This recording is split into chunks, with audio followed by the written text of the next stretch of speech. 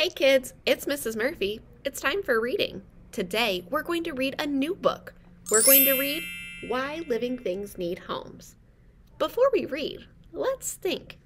I wonder if this book is an informational text or a fiction text. Hmm.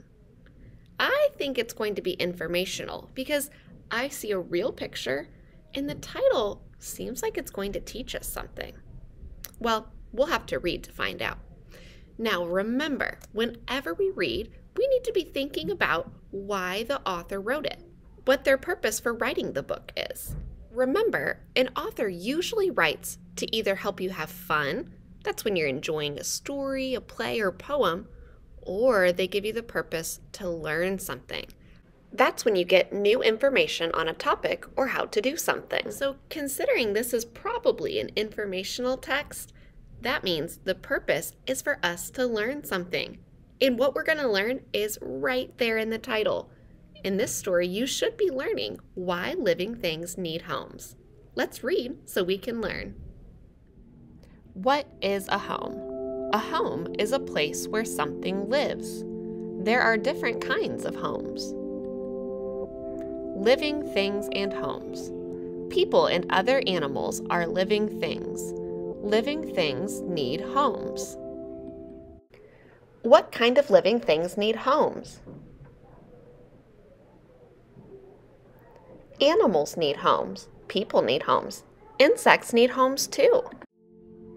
Some animals find homes. This bear lives in a cave. Some animals build homes. This bird lives in a nest. Some people build homes too. This person lives on a boat.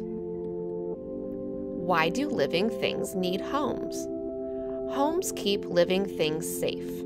Homes keep living things safe from the weather. Homes keep animals safe from other animals. Homes keep animals warm and dry. How do living things use homes? Some living things sleep in their homes. Foxes sleep in their homes.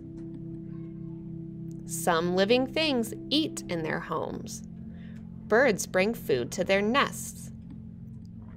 Some living things care for their young in their homes.